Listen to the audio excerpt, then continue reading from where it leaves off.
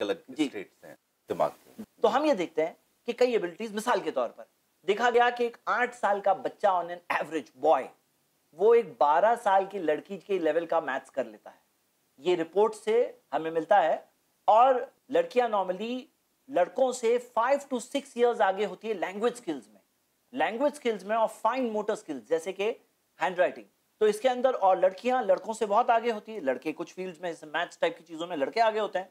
Obviously अब चाहे जो भी एबिलिटी ऊपर वाले ने दिया, लेकिन अगर मान लीजिए कोई हार्ड वर्क ज़्यादा पुट इन करें, जैसे स्कूलों में देखा जाता है कि लड़कियाँ ज़्यादा हार्ड वर्किंग होती है तो एंड रिज़ल्ट स्कूलों के रिज़ल्ट देखेंगे तो लड़कियाँ ज़्यादा बेटर स्कोर करती है लड़कों से। ऑफ़ कोर्स स्कोर करने में उनके लैंग्वेज स्किल्स भी आ रहे हैं, लेकिन बाकी जो एरियाज़ कमज़ोर हैं, अगर वो अपने दिल पर ले लें और हार्ड वर्क करें तो वो वहाँ आगे ज़रूर बढ़ सकती है। लेकिन यहाँ बात हो रही है कि कौन सी एबिलिटी दी गई है? कौन सी एबिलिटी ऊपर वाले ने इंसानों को दिया है? तो ये अलग अलग तरह की एबिलिटीज है ब्रेन्स अलग अलग है।